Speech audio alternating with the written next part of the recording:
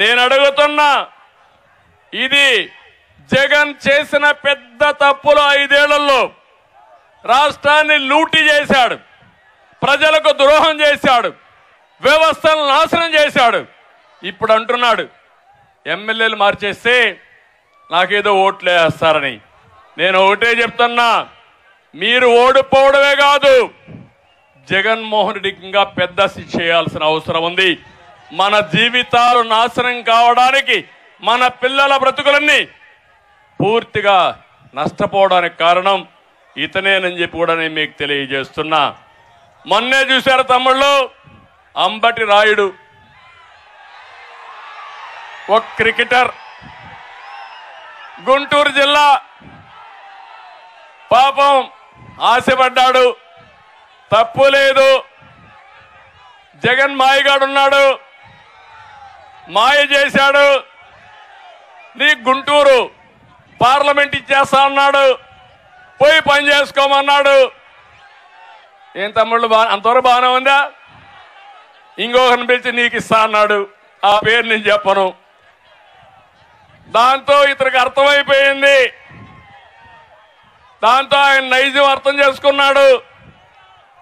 వచ్చే ఎన్నికల్లో YCP clean bowled అని అనుకొని అక్కడి నుంచి ఫీల్డ్ లేక్ ఎంటర్ కాక మునిపే పారిపోయాడు. అవునా కాదా? ఇది మీ అందరికి అర్థమైందా నేను అడుగుతున్నా ఈ రాష్ట్రంలో. అందరినీ మోసం చేసి ప్రతిరోజు మాటలు చెప్పి ఎదురుదాడి చేసి నానా బూతులు తిట్టించి తద్వారా రాజకీయం అనుకుంటున్నాడు. నిన్న మొన్న కూడా చూశారు.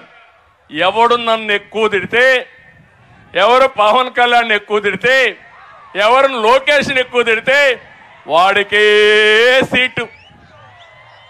ప్రజలకు సేవ చేసిన వాడికి కాదు ప్రజల్లో అభిమానం ఉండేవాడికి కాదు డబ్బులకు రాజకీయంగా తిట్టేవాడికి ప్రాధాన్యత ఇచ్చేవాడు ఈ ప్రపంచంలో ఎవరన్నా చూశారా అని మిమ్మల్ని అడుగుతున్నా. ఇప్పుడు ఇక్కడ చూశారు విజయవాడలో విజయవాడ వెస్ట్. ఆడొక ఎమ్మెల్యే ఉండేవాడు ఇప్పుడు ఉన్నాడు. కొబ్బరి చిప్పల మంత్రి. అవునా కాదా? ఆ కొబ్బరి చిప్పల మంత్రి మొత్తం ఎండోమెంట్స్ అంతా అప్రతిష్ట పాలు చేశాడు ఇప్పుడు ఆ కొబ్బరి చిప్పల మంత్రి వెస్ట్లో వేస్ట్ అయ్యాడు. సెంట్రల్లో బెస్ట్ అయిపోతాడు. ఏం తమ్ముళ్ళు ఒప్పుకుంటారా మీరు? అక్కడ వేస్ట్ ఇక్కడ బెస్ట్ ఎక్కడ ఎవడు చెప్పాడు జగన్ నీకు ఇవన్నీ? ఏ స్కూల్లో చదువుకున్నావు జగన్మోహన్ రెడ్డి అని అడుగుతున్నా నేను ఈరోజు. ఇదేనా రాజకీయం అని అడుగుతున్నా. పాపం అక్కడ ఒక ఆయన ఉన్నాడు ఆ సెంట్రల్లో. ఆ సెంట్రల్లో ఉండే ఆయన మనం చూస్తే ఆ పేర్లు నేను చెప్పను.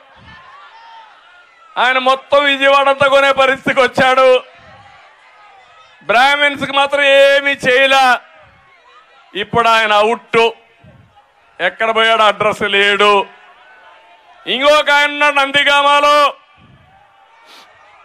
జగ్మోహన్ రావు దొంగ. అన్ని ఆయనకే కావాలి. ఎవరన్నా కానీ నో అంటే మొండి తోక మొండికేస్తాడు.